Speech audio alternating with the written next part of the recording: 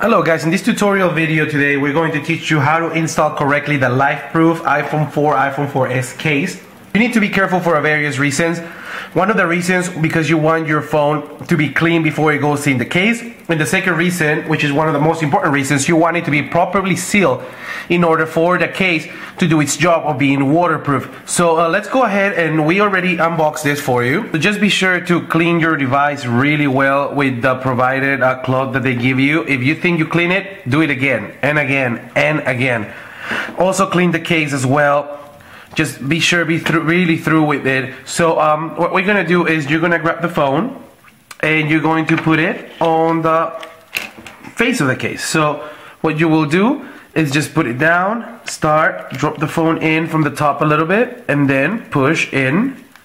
So that way the phone is all the way in. Just give a little pressure on it so you can feel that the phone is legitly in. Remember when you're about to put this phone in, just be sure that this little yellow line over here, this is what makes your case uh, waterproof. So be sure that there's nothing on it. So once you get the phone in, just be sure that the screen is pressed, that the phone is matching, and then what you will do is grab the back of the case and put it. So get it to match, and then you're going to start pressing. So as you can see over here, you will be, as long as you can hear the click, that means that the case is going in. So be sure to hear the case because that is what, uh, I'm sorry, be sure to hear the click because that is what's gonna uh, show you that your case is actually waterproof.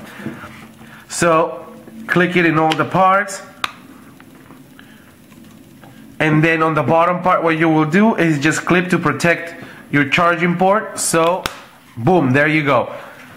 So that way we are fully installed this. Be sure that this is very tight and then start testing the buttons. Now one thing that LifeProof recommends you is to actually go ahead and test the case fully sealed underwater before putting the phone in. Even though all the cases are tested, just it's that's necessary just to be sure. You don't want to sacrifice uh, your phone. Now to remove it is the same process. I don't recommend you guys to be removing and putting this case in. Either leave it in or leave it out. Um, I will definitely, eh, eh, this is like a case that you can use every day. So let's start with the bottom. So you're going to go ahead and pull this back. Be sure that when you take it out of the water, just to dry it out first before you're going to be removing. You don't want those drops of water to get in your case. So you're going to pull this back and now you're going to start from the bottom. So this side's over here. So you're gonna go ahead and pull up. Pull up. Keep pulling up. Just be careful with it. You don't want to put too much stress. Really easy to take out. Then the case is out. Now uh, to remove the phone just push the screen a little bit and then the phone will pop up to the back.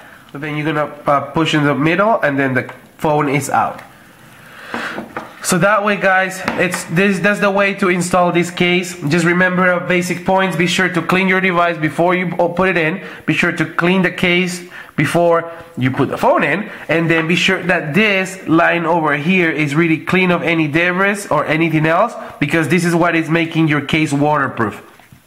Again guys, this is Raul bringing you a tutorial on how to install the LifeProof case for the iPhone 4 and the iPhone 4S. I hope you enjoyed this and it helped you out. Good luck in your case and accessory hunting and I will see you in my next video.